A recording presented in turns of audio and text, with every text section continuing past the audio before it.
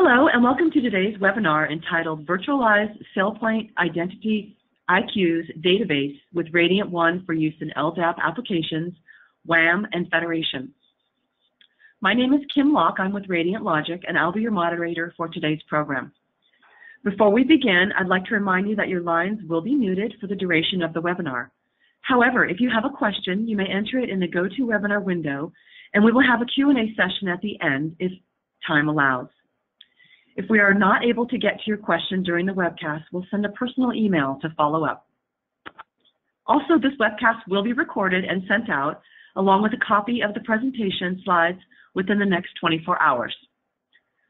Our speakers today are Rusty Deaton, Radiant Logic Practice Lead with IDMWORKS. Rusty has extensive experience with SailPoint and RadiantOne implementations. He has five plus years of direct IDAM experience and engagements with organizations in every industry and vertical. His current research and learning focuses include test-driven development, Python, and incorporating DevOps best practices into implementations. And Wade Ellery, Senior Solutions Architect at Radiant Logic. Wade has extensive experience in enterprise IT direct and channel software and services sales and management. He has in-depth knowledge and experience in enterprise IAM, IAG, risk and compliance, and IT security challenges. We'll start with you, Rusty. Okay, sounds good. So uh, my name is Rusty, and I'm here to talk to you about Radiant SailPoint today. So if you guys have any questions during my presentation, go ahead and ask away. Um, so a little about me. Uh, I've been in um, I've been in IDAM for about five years now. Uh, I've been working in information technology as a whole for about 10. Um, I, have been in all sorts of fun technical scenarios around a wide range of industries. Uh, just a, a, quick snippet about my firm. Uh, we've been in business well over a decade. Uh, we offer a huge range of services, as you'll see on the next slide. Um, so being in the industry as long, long as we have, uh, we've worked with an absolutely massive range of vendors, um, which you'll see right here. Um, and we have a great understanding of how they all fit together, right? Radiant can actually integrate with a good deal of these uh, vendor solutions that you see on the screen right now, but that's uh, that's a whole other set of talks, right? Um, and here you can see some of our clients. Uh, some of these I've actually worked with personally, um, but that's really not what we're here to talk about today. Today I'm here to talk to you about how Radiant and SailPoint together are awesome, right? You can use RadiantOne and SailPoint to do some really amazing stuff. Um, so the, the question is, how, right? Um, there's three real steps. You aggregate, you feed, and you decide. So uh, the first step is to aggregate. Now, we need to understand that one of the truly great things about Radiant is its capacity to take disparate sources, um, LDAP backends, um, SQL database tables, uh, REST um, endpoints, even flat files pushed over. Um, you know, our, our life is, uh, it, revolves around the comma, right? So why not flat files? Um, and we can then aggregate this data and provide an enterprise-friendly view of it that can be easily consumed by other applications. Uh, so SailPoint, of course, is one of those applications that can consume this enterprise-friendly view. So we can feed that data into SailPoint. Um, without Radiant, right, there's a, and without this sort of pre-processing that Radiant allows you to do of the data without um, being able to vet the data and clean it up, um, you require uh, uh, almost a, uh, I would say, a significantly extended effort to be able to provide the same quality of, of data that um, you would get from piping it through Radiant using those same channels of, of aggregation and, and distribution. So next, you, you've got this data, right? You've got it cleaned up and you've got it pushed over to SailPoint, right? finally, you have to decide what to do with that data. So basically, any joiner, mover, leaver, attestation process, any any business logic related workflow is then prime primed for SailPoint to operate with. Uh, since Radiant has really done a lot of the heavy lifting on how to manage that data, how to how to really make everything fit together. Um, so what you can then do is um, you can not only use Radiant as, as the backend for those decisions, you can also then feed decisions that are made in SailPoint back into Radiant. Now, um, with the two use cases that I'm about to get into, um, we'll we'll get into how that works in a little bit further detail. So our first use case is a Fortune 500 company with uh, a ton of mergers and acquisitions over the, the course of their lifetime. Uh, they've accrued, uh, I want to say, probably 20 separate Active Directory domains. Um, and, not just Active Directory domains, we're talking um, various databases and legacy data sources that need to be merged in. Um, in our current scope of operation, though, we're just talking Active Directory. Um, that's that's all they want to take care of for now. Um, they want to be able to provide a consistent lifecycle um, for users, you know, entering the organization, maybe transferring to another part of the organization, and eventually, well, not eventually, but hopefully, um, leaving the organization um, in in that IDAM process, right? And um, we need to be able to have um, that consistency look like AD the whole way. Um, because this, this may communicate with, say, Office 360 in the future, or it may be used for Azure or uh, something to that effect, right? So let's take a let's take a look at how that might look from a, a high level architectural standpoint. So you would have each of the Active Directory instances feed into Radiant. Now, this can be done um, a, a, number of ways. You could cache any number of ways that you'd like to, but the idea is that Radiant is then the gatekeeper for those Active Directory instances. It, it holds them in place. SailPoint draws on that data, and then SailPoint in turn is able to communicate with the users for those various processes. Um, it actually works out very cleanly and uh, for the first phase of this particular use case, I think we got it up and running with, I want to say eight of the critical Active Directories that they needed within three months. So it was a pretty quick turnaround. Our second use case that I want to discuss uh, that I worked on personally is a very large organization with 100,000 employees. Well, more than 100,000 employees. Uh, it's a national organization, massively siloed, uh, 14 separate departments, and all of them are highly autonomous. Um, but they, they have a collective need to unify user information across this organization, and it needs to be, in some cases, as real time as possible. Um, for instance, door access. Um, if someone, for whatever reason, needs to leave the organization, they wanted door access to be cut off right then, right at that moment. So uh, it needed to be near real time. The minute that the button was pushed, hopefully the, the access would be revoked and you'd be able to move forward. Um, and we would need to be able to feed those decisions um, to other departments. And those other departments may refuse to use SailPoint um, just by the structure of the, the larger organization. So we actually came up with a fairly clever way of doing it, um, and Radiant enabled it. So let me show you. So um, what you'll see here, right, is uh, the whole panoply of various data sources connected to RadiantOne. We have uh, in this in this slide anyway, Active Directory, several um, SQL databases that may represent human resources, physical access, um, there were several others, but those were kind of the key ones. Um, building data, which was um, not your standard um, setup. We had to shoehorn the data in. Uh, we had several REST interfaces that we connected to, and it all pulled into an enterprise view for the user that we abstracted to a SailPoint friendly view um, offered to SailPoint, which then you could perform all of your um, all of your joiner, mover, leaver, uh, all of your business logic related workflows in there.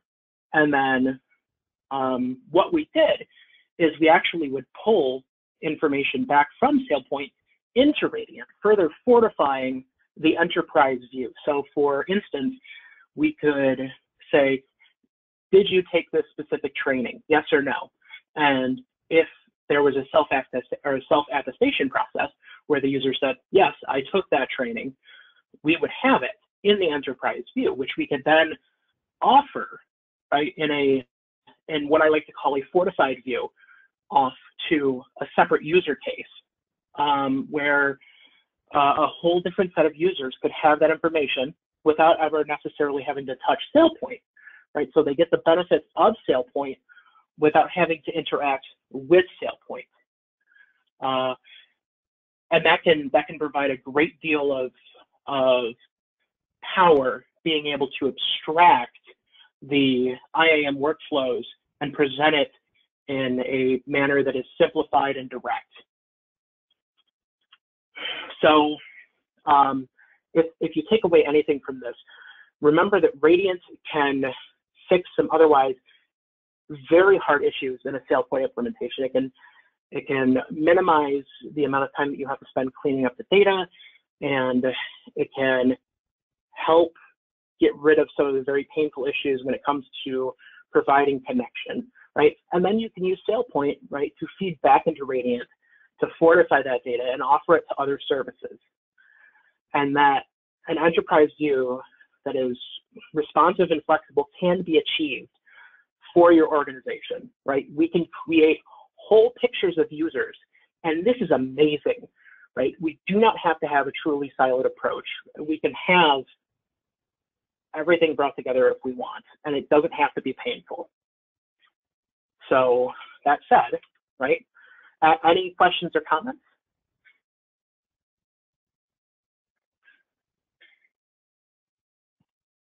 Actually, Rusty, uh, we're going to take questions at the very end. They're submitted uh, online by text, so we'll open that up for questions uh, when we're done. This is Wade. Um, everyone's oh muted God. right now by nature of the webinar, so that's why you got crickets after you said that. No, that's that's fine. I'm totally cool with that. I, I acquiesce. The floor is yours, sir. All right. Excellent. Well, thank you very much. And, and Rusty, um, thank you for an excellent uh, introduction there. Let me make sure I'm sharing the right screen here. There we go. And I want to thank you for that introduction and uh, the real world use cases around integrating Radiant Logic and, and SailPoint. I am seeing more and more synergies now in the world of, of Radiant Logic and, and SailPoint in a way that where it's really a hand in glove model here. There's a tremendous amount of functionality in both products and very little overlap. And we'll explain that as we go a little further. So you end up with really a force multiplier when you talk about putting the two platforms together and letting each do what it does best and then delivering for the customer relatively a complete solution in much faster, much more agile, much more uh, dynamic deployment capabilities than you would normally see in a extensive rollout of an identity management platform. So to that end, I'd like to go ahead and take a little time here to sort of delve a little bit deeper into the Radiant Logic side to explain that sort of the left hand of, of Rusty's slides to show you some of the work we do on the Radiant Logic side and why the power of our ability to correlate and join and union and manage and manipulate and clean up that data is so important and how that makes life easier for SailPoint and for any other application that needs to consume identity information. Um, I'm going to steal one of your, your terms, though. I really love the idea of panoply. Uh, that is an excellent way to describe the complex and diverse nature of siloed identity sources that we, we deal with every day at our large customers. It's a panoply of, of information and identities that need to be brought together. So that really is an illustration of, of the of the world we live in, and this is not to the fault of anyone in particular. This is not a bad IT design that somehow rippled through the whole industry. It's really the nature of the way IT started initially. Everything was its own island. Every application thought it was the center of the universe. It had its own users stored inside itself. It had its own uh, fat clients for authenticating and for uh, provisioning and deprovisioning and managing those systems, and they worked completely alone because they had a set of functions they had to deliver and they wanted to eliminate dependencies on anybody else. But quickly, when you start to look at deploying two or three or four of these islands, you realize that this is a very complex system to try and manage and a tremendous amount of overhead in replicating the identity management processes for each individual in silo. So we moved towards the idea of some directory-based scenarios where we actually centralized users in a central directory, and then we were able to point the application to that directory and say, at least for the user's identity and password and credentials and group memberships, you can look externally, and I can set that up once, and then I can use it for multiple applications. And that became pretty good scenario, but we started back in the days when hardware was very expensive, when WAN connections were very slow, so the ideas of directories couldn't be global and universal like they can today. They had to be very regional. So I ended up with multiple domains, multiple AD domains. And then I had applications that had their own finicky requirements for data a certain way. So I had to stand up an LDAP directory to hold certain attributes or rename certain uh, fields and labels to match an application's requirements. And then other applications really wanted to store everything in a database. So now I had to stand up databases and manage all that information. And so I ended up with all these repositories again, somewhat externalized from my applications, but still in their individual silos. And I brought in provisioning solutions to try and synchronize information. And when you first started with the company on day one, I wanted to create you in these 10 different backends so you could have access to 20 different applications or in 100 different backends. But now you've got different credentials, different identifiers. Again, this becomes a complex environment. It wasn't solved by simply adding in the idea of a directory as opposed to the identities being inside the applications. And then to really sort of frustrate the effort of, of getting your arms around the problem, we opened up the world to the cloud and to the internet and the idea that applications and endpoints that you're communicating with may not even be on premise. They may not even be things you control. They may be SaaS applications that are hosted by a third party vendor or a partner in your industry that you have to connect to and provide identity information to and provision and deprovision. And this just sort of explodes the whole challenge. And this is what we're facing today in the identity management space is really a, an explosion in the endpoints that I need to be able to provide authentication, authorization, and compliance and auditing to, and an explosion in the number of places that I have identity information stored and that I have to leverage and be able to make available in other situations, other scenarios. So the question becomes, how do I deal with this? Well, on the application side, what we created, and this was 10 years ago with Netegrity's original web access management solution, which became CA SiteMinder, and now has been rebranded to CA Single Sign-On, and has companion products in almost every vertical stack of an access management product for web access management. I started the concept of single sign-on. Let's make it easy for the user. Let's give them one place to go, present me with one set of credentials, I'll authenticate those credentials, and then from that point forward, I'll never ask you again to validate your identity for any application that you go to that's within my control within my web access management sphere, within the session that you're operating. So for the end user, this was a panacea. Uh, instead of having 20 different IDs and passwords written down on a sticky note on the side of my computer or on my keyboard, I had one credential to authenticate. Maybe it is even logging into my desktop, and now wham, I'm into all my, no pun intended, into all my applications without any additional effort. But for the IT administrator, this didn't solve our problem of, whoa, my gosh, all those identities that I have to provide down to this web access management system are still distributed all across my environment. They're still in multiple different places. And not only are they in different platforms, but they're in different protocols, they're in different structures. A directory and a database don't look at all like each other when you start looking at them at a, at a basic attribute level. You can't easily interchange one or the other. You can't even interchange between Active Directory and an, an LDAP directory like CA LDAP or, or Open, um, OpenDJ. Those LDAP directories have a different schema. They have a different language or label for the way they identify information. We don't even call things user ID. It could be SAM account name. So there's a real challenge in mushing all that together. So how do you provide the, the wonderful benefits of single sign-on that the end user got to the administrator on the IT side? And this is where Radiant Logic comes into play. Radiant Logic provides the capability to connect to all the different backend platforms that you have identity information in. And now, when I say backend platform, I only mean backend from the sense that it is uh, identity information that is normally sits behind an application. But this may be information, as you can see on the diagram here in the bottom left, it may be external to your organization in a partner directory. It may be applications that are sitting in the cloud like Salesforce that have their own identity information provisioned into them and configured locally that you want to include in your global profile that you want to be able to pull back into that 360 degree view of your user's account.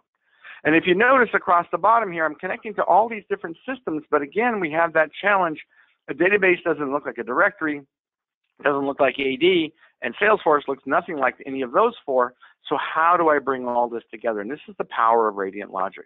There's a very rich logic engine in that blue sphere that surrounds our golden pyramid that allows you to manage and manipulate and control and massage and clean up and transform and translate the identity information in as many ways as you need to in order to provide it to each application just as that application wants to see that information as if that application was the center of the universe, was the only thing that mattered, and for each application simultaneously from one source of identity information.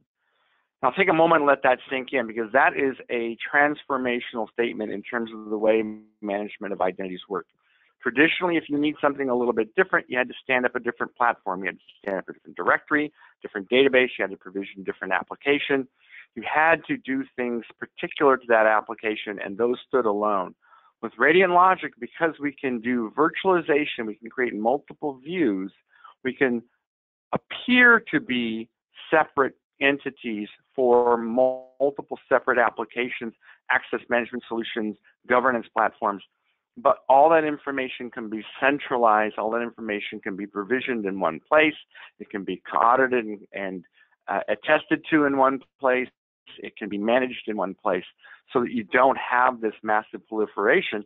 And if a new requirement comes along, I simply generate another view of that information so that it's available for that application and that application's requirements.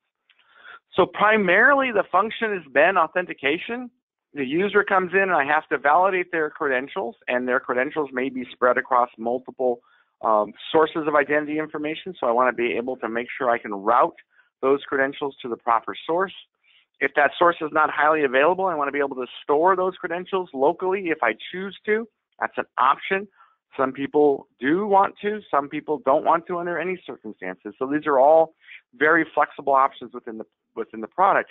And the ability to then provide that authentication back to a portal, to a federated access system, to a web, web access management directly to an application, whatever needs to do that authentication so that users get access when they provide valid credentials, whether it's two-factor or forms-based or however that authentication may come through. But we go further than that because what we've built now is a rich profile of user attributes.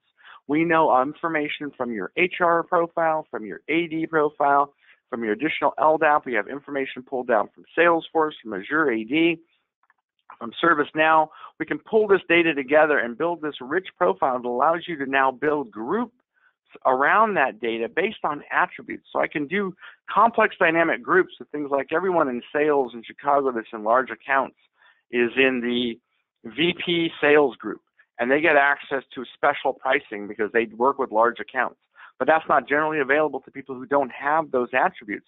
Now I don't have to provision and deprovision and add users, remove users from groups manually. I can do it based on their attributes and their entitlements within the system. When I'm linking to something like SailPoint, I can use SailPoint's entitlements and their ability to build rich uh, roles within the organization to provide those dynamic groups and that automatic access and authorization control. And then when that person's profile shifts, when they move, when their project ends, when their manager changes, all those adjustments are made automatically. The, the relief of administrative overhead is amazing. And then when you start getting into mergers and acquisitions, and as mentioned earlier, the need to be able to do migration and consolidation of identities between multiple sources. When I merge two companies together, some organizations want to operate autonomously. They operate as little silos, and you got to be able to give an overarching view of all their data. But other organizations are going to want to be able to migrate those identities into one uh, Active Directory or one directory store, and we can do that virtually very quickly with Radiant Logic, and then over time allow you to move those accounts without the end user even knowing anything has happened. So when I'm providing authentication, it's simply a matter of the application making the request. Um, that request comes to Radiant Logic's federated identity server, and we then can make a proxy call back to AD, providing them with the proper identifier, validating the password is accurate, and then pull back a bind that we send back to the application, letting the application know the user's been authenticated properly. But you may have a scenario where I have multiple AD domains and I have user overlap. So if I have users in multiple domains, how do I handle that? Well, traditionally, the access management solution would chain those domains together. It would simply look in domain A first and search for the user. If it didn't find it, it would hop over to domain B, search for the user, hop over to domain C, search for the user. And eventually in domain D, it would find the user and then it would go ahead and try and authenticate its credentials. But the challenge with that is that you spend all the time going through the first three domains looking for that user while the user is waiting for that authentication to take place. And this can take a fair amount of time if you have a large organization. It also generates a tremendous amount of back-end traffic. We have a large uh, company that consolidated all of their subsidiaries, nine different AD domains together. They were generating 13 million back-end calls a day to their AD infrastructure trying to authenticate users for sign-on into shared applications. Using Radiant Logic, we're able to collapse that down to what appears to be one flat list of users across the whole organization. Those domains are still in place. They still function locally. They still provide all the legacy domain access and controls that are necessary for each of those subsidiaries. But from a global view, they appear to be one big flat list. So does John exist? Yes, he does. I answered that question in milliseconds. And I know exactly where John is stored because I have a pointer back to his AD domain. So then the credentials for John are presented by the access management platform, and I route that immediately back to the backend, validate his credentials, send back a bind, and in milliseconds, John's authenticated to the shared platforms. Now, what if John has two accounts and he uses the password for the second AD domain, not the primary AD domain? I can simply set up the system to do bind order that says, hey, look in domain A first. If you don't find them there, or if you if you find them there but his credentials don't work, pop over to domain C where you also have an account for John. If his credential matches there, go ahead and let him in anyway. So now when John is part of a big merger and acquisition, John doesn't have to now remember which password do I use for global access and which one do I use to access my local domain and which one do I use when I'm in corporate headquarters. It doesn't matter. Use the ID and the password you have. We'll figure out if it's valid. If it's valid, you get in. So it's again a, a way of making this platform much less friction based, much easier for the end user's experience. And from an architectural standpoint here, if you look at this particular slide, this kind of gives you the nuts and bolts of what we do all in one place. On the left-hand side represents all the sources of identity information we connect to. And as I mentioned, we are platform agnostic and we're standards based. We'll talk to anybody that talks a standard protocol. So JDBC for databases, LDAP for AD and directories, web services, REST, uh, SCIM, AD, uh, whatever the acronym is on the back end. If it's standard protocol, we'll connect to it. We'll be able to bring that information into Radiant Logic. And these can be two-way connectors. We can provision information back out into those back-end sources if you want us to deliver updates, changes, modifications, normalization of data, whatever you want to do. There's a whole rules-based engine for providing that capability. Now, once we bring the information in, we're going to do virtualization and aggregation. We're going to let you see all those users in what appears to be a common format, a common directory structure. Even databases, we can build a schema based on the column headers in, a, in database tables so you can start to interact with those as a, as a attribute-based pair. And then you have the options to aggregate those together, to find the places where John has multiple accounts and link those accounts together. But also you want to be careful not to do inappropriate aggregation. You want to be able to disambiguate if I have J Smith in one platform that's John Smith and I have Jay Smith in another platform that's Joan Smith. I don't want to put John and Joan together. They're not the same person.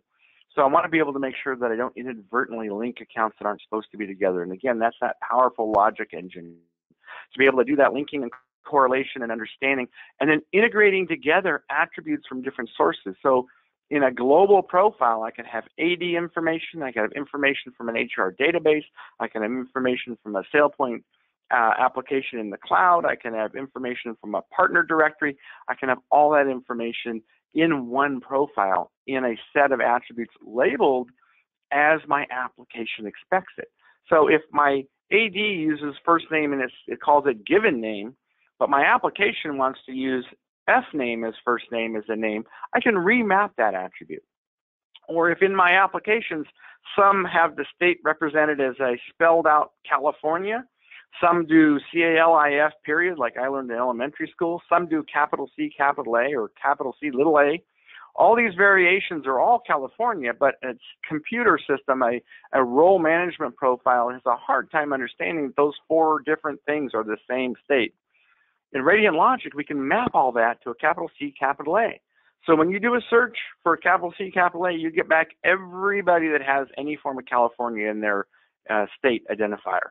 So you can bring that information together, to clean it up, make it much more easy to do groups and roles and build context, as we'll see later. We can store this information locally on our HDAP store, which is highly available, highly performant. So when you've done all this complex aggregation, you've done this heavy lifting, you've done this work, you can make that result appear to be a physical representation of the user in Radiant Logic so that you can access it at the speed of a directory. So you can do authentication authorization against that data without having to recalculate those relationships and those dynamic groups in real time. If you remember the rollout of healthcare.gov eight, nine years ago, it was a debacle in that it took forever for people to figure out whether or not they got a discount on their health insurance because that platform, after you filled in your forms and hit submit, was going back in real time to databases in the IRS and Social Security and other places in the federal government to try and pull together information about you and make a join and make calculations and make a determination in real time you can't expect a user to wait for that kind of heavy lifting. It's great if you're doing reporting. If you're generating attestation reports and you're generating reports that can run overnight and they're reviewed on a daily basis or a weekly basis, that's fine. But we're talking authentication authorization. We're talking in the speed of a directory. We're talking the speed of the internet and, and Amazon and Google where customers expect things to happen instantly. And that's what Radiant Logic delivers. And then on the far right hand side there, you see the protocols Again, as we were protocol agnostic coming in, we're protocol agnostic going out. We can represent this data simultaneously to look like an LDAP directory. So if you make an LDAP query, you get back the user information. But if you've got a reporting tool like Crystal Reports and you want to use SQL to query this looking like a SQL table because Crystal Reports thinks everything is columns and rows, then we can give it back as multiple SQL tables in terms of views.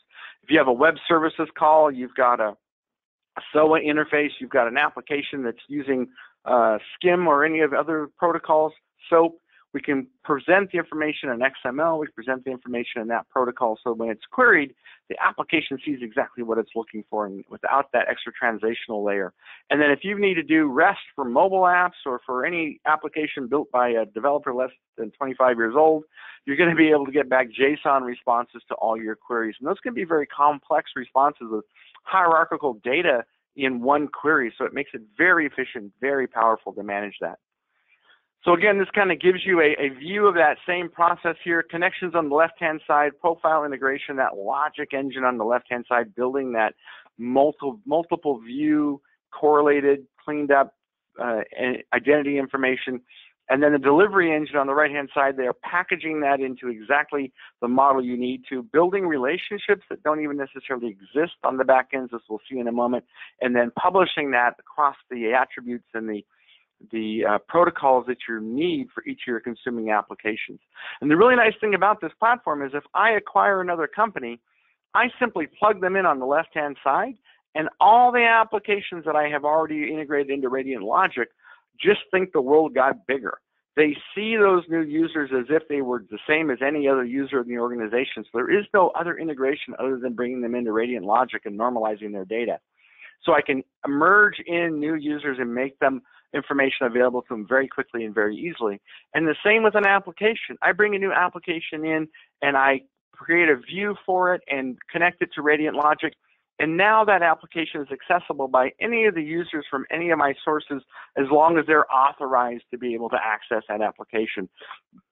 They will have the connectivity through to that. They don't have to do any extra work. There is no system by system integration where I create this n squared problem of every new application has to be integrated with 25 different backends. It's a one-to-one relationship on both sides. And that makes a tremendous value to the whole process. So how are we doing this? How are we virtualizing this information and delivering that identity data? And really the key here is the concept of a join and a union. And these are database terms or, or data management terms you may be familiar with. A join is simply saying, hey, I have a user with a certain amount of information and I want to add to the information he has. So I have an account in AD, I have my AD profile with all my AD information in it, but I also have information in a SQL database. I have HR data about my hire date. I've got information about my uh, my enrollment in the benefits program or what my number of deductions is, all that kind of data that is not necessarily stuff you'd look for or find in Active Directory, but I want to include it in the complete profile because I have a benefits management package that needs to authenticate against AD, but then it needs to be able to read that data. I don't want to have to have it point to multiple places and trying to sort this out. I also don't want to have it have to deal with overlapping accounts. So I'm going to join that information together. So my profile now looks like an Active Directory profile to that application, but it's got extra stuff in it, but I never had to extend the schema in AD. So I don't have this giant ever-growing AD schema of, of attributes for different applications.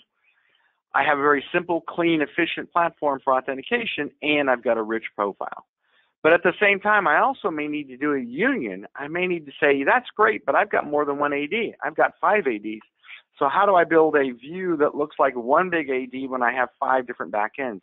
I create a union, just like the Union of the United States. I bring all those different ADs together and can represent them as one entity without changing those backends because the challenge that a lot of our customers face is, and this is true of a lot of mergers and acquisitions. I'll talk to customers that merged. We're just talking with one of my uh, salespeople about a giant department or grocery store. Two massive grocery stores merged five years ago.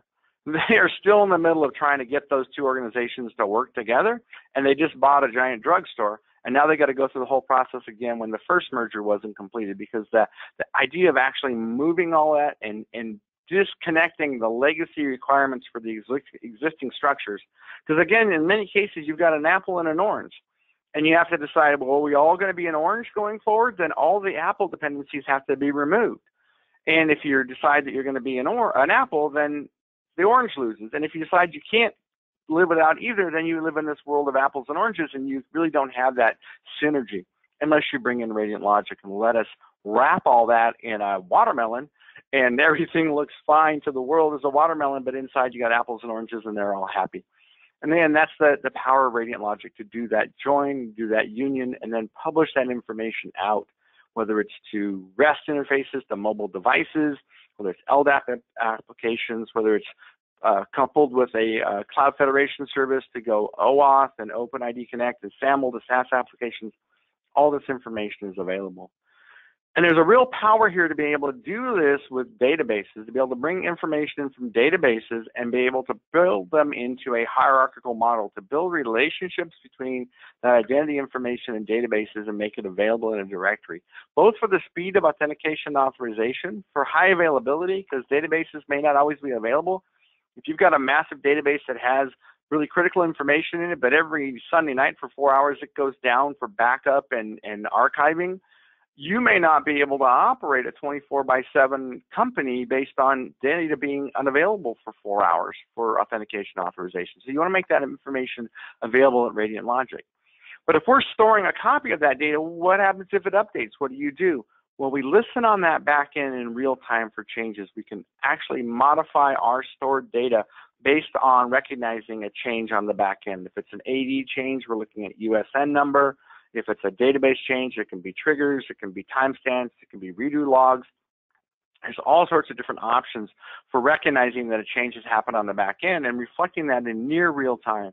So the information you're getting from Radiant is going to be as accurate as possible to the back end. But you always have the option too of making a direct query to the back end. We can always hop out the back and check the back end in real time um, if you've got that uh, performing back end that's highly available or you've got the time for that uh, delay potentially if there's latency issues. But in being able to bring all this information together across multiple platforms, I can not only build a rich global profile, I can build a relationship, I can build a context within this system. So for this model, Nancy and Laura are salespeople. They own particular accounts, Great American, uh, Great Outdoors, and World Grocery. Those accounts have placed orders. Those orders are for particular products. And if you look on the left-hand side there, that information came from four different sources that normally are completely unrelated. But because we have the ability to bring you into sort of a sandbox environment, build a common schema and infrastructure and understanding, be able to link information by attributes, we can build this hierarchy within the platform. So if you're doing a REST query back now and you say, hey, I want to know about all the things that Nancy sold, I can query Nancy and add context at the end of the REST query and I'll get back a JSON response that has the full hierarchy of Nancy, her accounts, the orders, and the products delivered. So a mobile application, uh, a lightweight application, something running over a, a very uh, small wire or over the internet is going to be able to get back a tremendous amount of information with a single call. If you talked about an app developer, that capability it eliminates for them so many recurring recursive calls of saying, give me Nancy. Okay, now I got Nancy. Give me all Nancy's accounts. Okay, now that I have her accounts, give me all her orders. Okay, now that I have all the orders, give me all the products they ordered. Those repetitive calls tremendous overhead, and you can eliminate that with Radiant Logic. So the basic use case drivers here, security, integration, mergers, acquisitions, divestitures, reorganizations, change. Just think, if something's changing, which is constant, Radiant Logic is going to have a real powerful ability to make that change easier, faster, more efficient, to add value to your M&A, to actually get two synergistic company, two companies working together in a synergistic way much more quickly than traditional models that could take years. And we've done this over and over again. Uh, web access management and single sign-on and federation access to SaaS applications, again, at the end of the day, applications, whether they're access management applications, compliance and governance applications, or even just functional applications directly, they want to be able to go to one place to get all the access to all the attributes, the authentication authorization information they need from one location in exactly the format, exactly the structure and the schema and the protocol they want.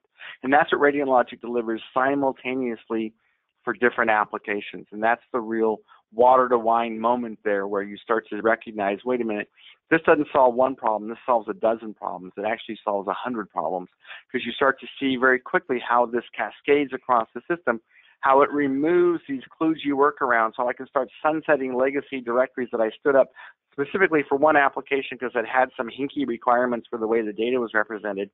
I can do that all from one place. Well, now I'm auditing fewer places. Now I'm doing provisioning to fewer places. Now I'm simplifying my review process. I'm making this all work better.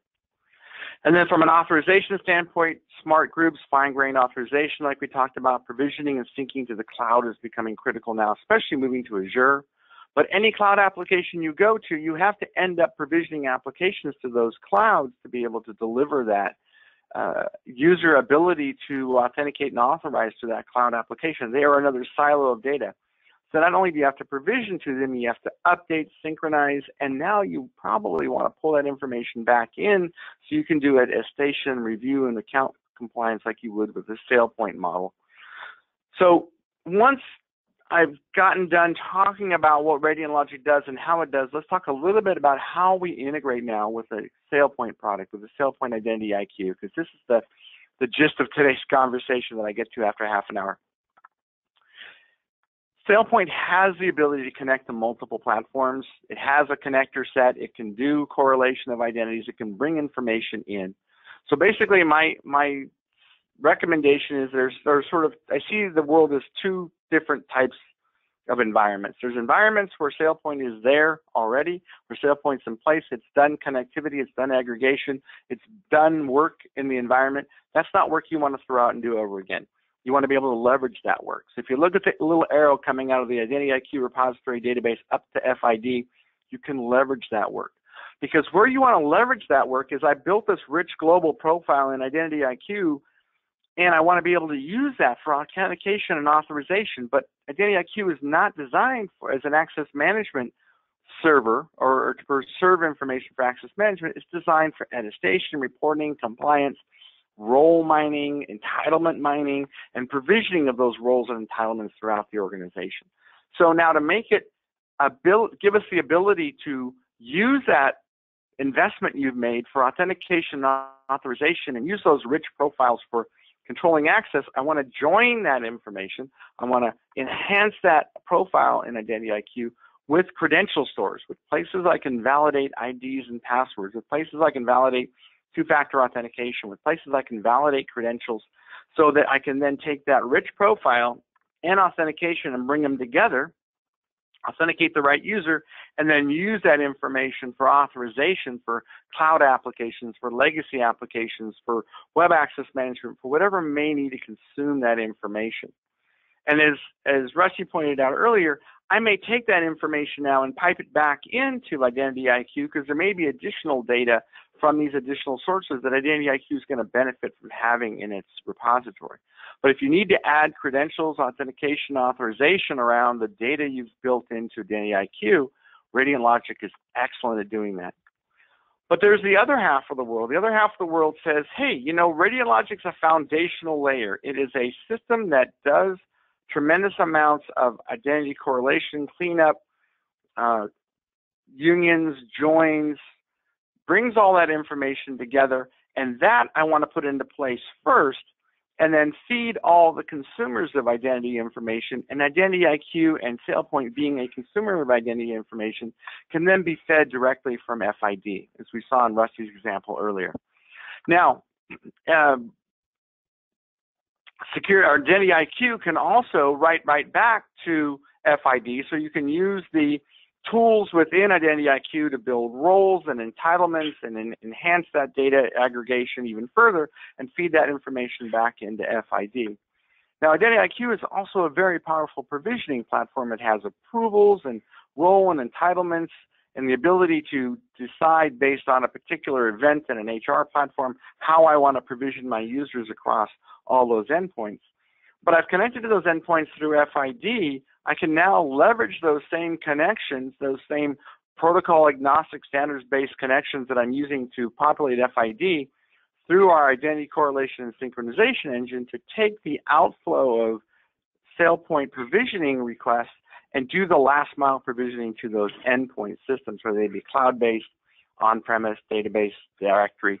So you get a, a wrapper now that takes the powerful capabilities of IdentityIQ and extends that by enhancing the profile collection attribution data cleanup and giving IdentityIQ a much simpler, cleaner world to work with. And then the handoff from IdentityIQ when they've done the provisioning, the authorization, all the workflows and entitlement work to then push out to those endpoints using that same connector set all the changes, updates, propagation that I need to do with a rules-based engine in ICS.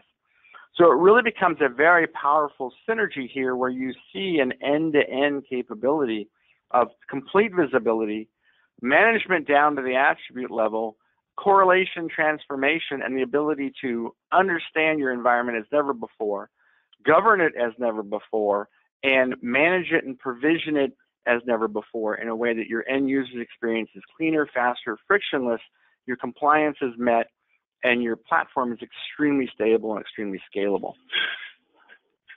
So just to wrap up, what we're talking about here with SailPoint and RadiantOne is integration of value proposition and use case, uh, exposing uh, the IdentityIQ information to FID so you can use that for authentication and authorization, being able to use the information collected and, and correlated by FID to feed into IdentityIQ as another identity source, and the lifecycle manager within Identity uh, within, within IdentityIQ being able to pull information from FID and then push that out to endpoints or push it out directly to ICS, let ICS do the last mile uh, configuration and deployment on that platform.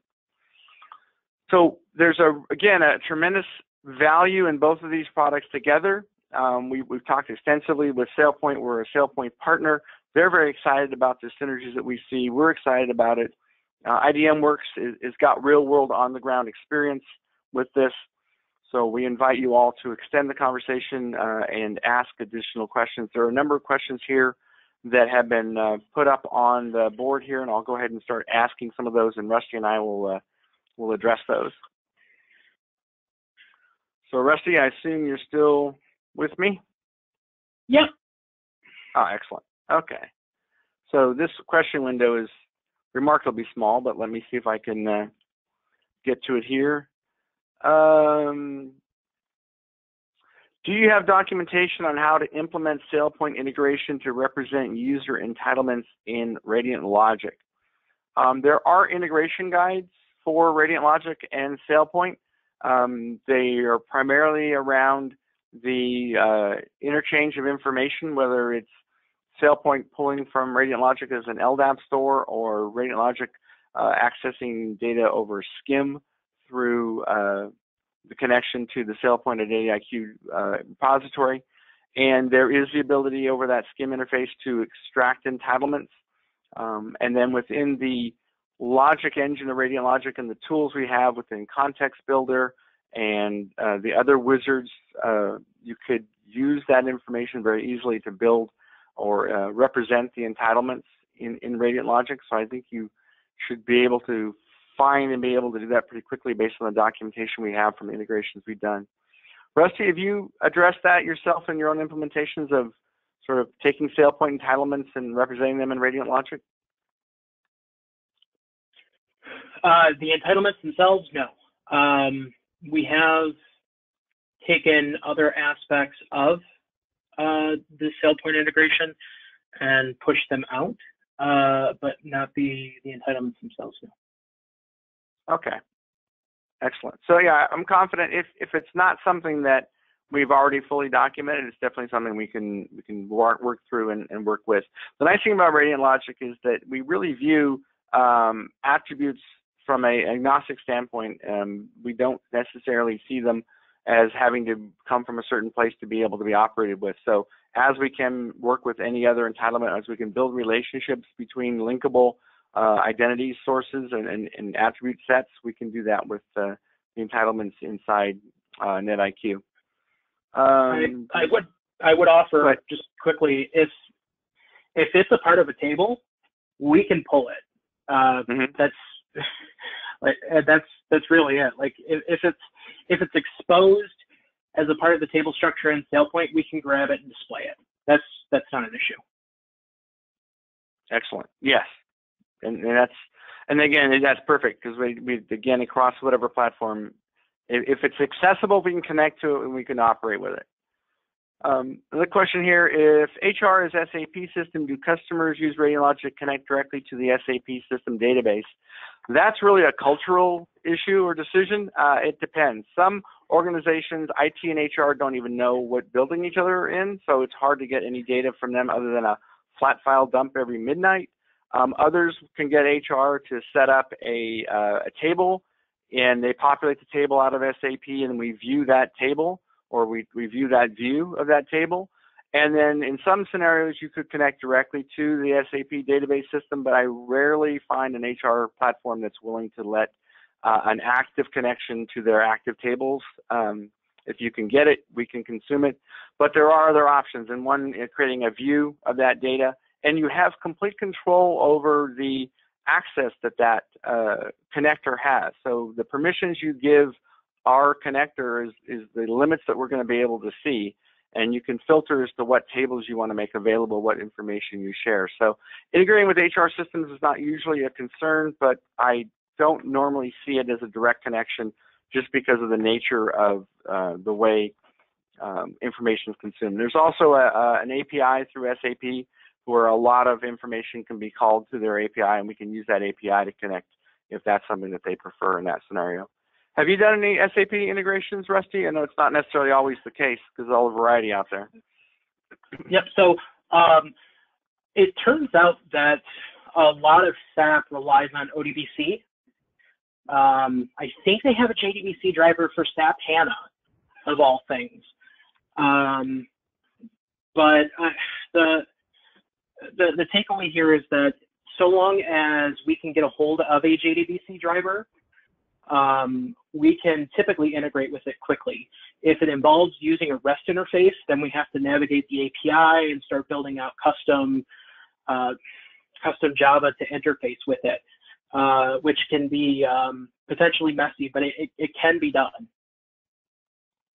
Yeah, and I think that's the, and again that's the case you're going to run into with with any any integration. Um, an LDAP call, a JDBC call is going to be the fastest and the easiest and, and, the most efficient. You go back to web services, you go back to REST, things are a little slower. There's a little bit more integration work there potentially. Uh, it depends on the on the API, but um, connectivity, if it's available, you can definitely get to that data. What's nice about Radiant Logic is even if that connection to the back end is slow, if you've got um, overhead in in that process, because we can store the information, we can make it available at the Radiant Logic level at the speed of a directory we can listen for changes on the back end if it's supported, and you don't have to worry about the, the inherent weight of pulling that information across a, a web services connection that's traditionally going to be a little bit more difficult than a direct LDAP or, or JDBC connection. Um, can we use the Radiant Logic model to do writes? Yes, you can, and there's two scenarios for that. FID, and there was a question earlier, is what is FID? Federated Identity service is FID. It is a rebranding of our VDS, Virtual Directory Server. It's the combination of the HDAP store, the ability to store information locally in a highly available cluster-based technology based on big data, and that blue logical sphere, the powerful logic engine that does all the manipulation. That gives you FID, the Federated Identity Service, the solution there. You can write through FID. So if you write an update to us and we are proxying a backend or we are um, connected to a backend. We can write that down to the backend if you choose. One thing you need to be aware of if you've built an aggregation, so I've aggregated 380 domains and I'm taking the multi-value of city field. Instead of showing city from each different domain, I've put one city field there um, and I'm representing uh, the data based on rules as terms of what's shown domain A is always represented, domain B is only shows its data if domain A is not available when I'm writing through the city, I have to decide, well, am I going to uh, write to all three domains? Am I going to write to just the primary domain? Am I going to write to the domain that's empty? So you have to have a little bit more logic in the writing back if you built a, a global profile. But you can build individual views. You can directly write through to the back end. If the account we have to access that back end has the ability to do writes and updates. In addition to that, as I mentioned in the diagram, ICS, our Identity Correlation and Synchronization Engine, is a full rules-based provisioning synchronization platform that allows you to recognize an event. Uh, users created, uh, accounts updated, a flag has been set, and based on that event, that action, we can then kick off a workflow within the system that will go ahead and update, provision, deprovision, modify, uh, synchronize information identity data across any of the endpoints based on a whole bunch of logical models, including a bunch of rules if you're in sales and your title has got VP in it and you're in Chicago, then this is the result of that change. If you're something else, you get a different result. So there's a real powerful model there for writing to endpoints. And again, that can be an extension off of the SailPoint workflow if you choose, or it can be something written directly to Radiant. Radiant can then propagate it out. Um, let me check another question here. Uh, can Radiant Logic use secrets from CyberArk ID Vault to connect to AD or other databases? Yes, we have done a CyberArk integration. Um, there's two models for CyberArk in terms of integrating credentials. There's a push and there's a pull. We have both of those integrations uh, available and documented. So um, we are able to support CyberArk in that scenario for uh, service account, the connecting uh, credential accounts that we use for accessing those uh, resources on the back end. So if you've got a full CyberArk deployment, that's how you're protecting your environment. Radiant Logic will plug right into that. Um, oh, can you show the architectural diagram of Radiant Logic uh, in NetIQ one more time to explain the flow?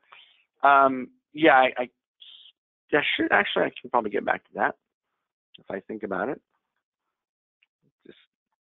There we go. So this is this is one of the two models. This is the Radiant Logic uh, connecting to the backend model here. So I have all my sources of identity, AD domains, directories, LDAP directories, uh, identity, additional identity objects coming from APIs, applications, Salesforce, whatever it might be that I'm connecting to. Brought into Radiant Logic's FID, and in there we are going to do whatever level of correlation, aggregation, uh, data cleanup, normalization, whatever you want to do to manipulate that information. You have complete control over that information, what it looks like, what you label things, how you create the views, multiple different views. And we're going to create a view for uh, IdentityIQ. So we're going to take that information, we're going to we're going to present it to IdentityIQ in the way you want IdentityIQ to see that information. So if you want IdentityIQ to look at, at an aggregated AD environment, we can pull all the ADs together and present one global profile. If you want it to look like a, a hierarchical tree of nested AD domains, we can present it that way. Um, it's just how you want that information optimized for, for being consumed by IdentityIQ. And again, normalizing and cleaning up that data, as Rusty mentioned, so that IdentityIQ can absorb that information and use that data for its role mining and entitlement management and group uh, development, uh, deciding on the provisioning for roles and and all the attestation and governance and review information and this manager belongs to this user. That can be something that's generated in Radiant Logic or generated in IdentityIQ. You can sort of decide where you want to do that effort and what makes the most sense and what's easiest. And then in this particular scenario, because we're already connected to the back ends, ICS and FID work together. They share the same connection strings. They share the same understanding of the schemas on the databases and, and the structures on the back ends and the protocols. So anything that we've connected to to consume information from, we can also write back to using ICS. And instead of just writing through FID, ICS gives you the ability to a tremendous amount of rules-based uh, workflow based on a, a single event. So this user was created, he's given this role and this description and these entitlements from IdentityIQ, handed over to ICS, and then ICS can modify that information for each endpoint based on what that endpoint needs and how it needs to see that information differently to get the result you want in those endpoints customized to each application requirement. And we've done this at, at a large uh, credit card organization where they were using mainframes and multiple sysplexes that had to be provisioned. Each one was provisioned differently based on one event in HR. So we were able to propagate that information and customize that data and deploy it after it was presented to us by IdentityIQ. Let's see. I think we're a little bit past the top of the hour. I do have a lot of questions here, um, and uh, what we will do is we will go ahead and respond to these, Rusty and I, over email uh, back to everyone. In fact, we may make these questions available to everybody because there's a lot of really good ones here that may be helpful for everyone to hear and make sure that you do get a response back from us. You are going to get also a link of the recording of our presentation today and a set of the slides that Rusty and I presented. We'll be doing another webinar in two weeks, so I invite you to watch your email for another invitation. We'll continue this conversation and expand it out even further into the identity space. And if you have any further questions, definitely reach out to Rusty at IDMWORKS, reach out to your representative at Radiant Logic, um, or us directly. Be more than happy to answer those questions, talk through use cases, understand what your challenges are, and see how much we can get SailPoint and Radiant working together to solve your problems. Thank you, everyone, and have a great rest of your afternoon. Rusty, thank you, sir. Yeah, thank you for having me. Have a great one, guys.